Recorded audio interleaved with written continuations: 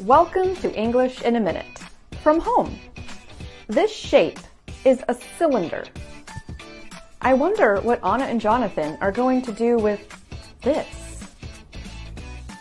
What is an eight letter word that means hollow tube? I can't help you.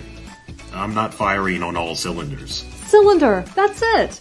Thanks, Jonathan. Some engines are powered by explosions in small cylinders. When all cylinders are firing, an engine is fully powered. The idiom firing on all cylinders means something is performing well. But if you say you're not firing on all cylinders, it means you're not at your best. And that's English in a minute.